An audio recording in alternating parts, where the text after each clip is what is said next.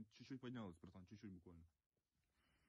Аккуратно, дивись, блядь, не, не в'їби в стіночку, їбать.